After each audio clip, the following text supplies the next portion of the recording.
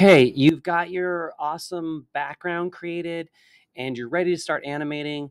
Uh, and you notice there's a big area over here where your picture got cut off.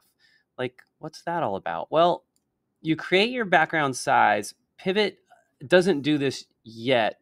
It did do this before. I'm sure it's a future update. Peter, hear me. Uh, when you load a background, um, before it would adjust the size of the pivot to the background.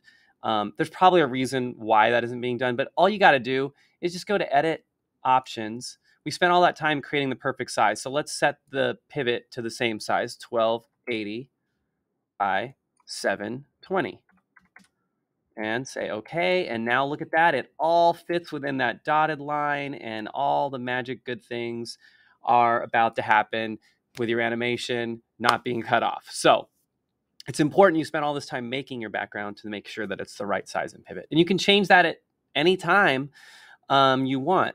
Uh, so there you go. Hope that helps. Peace.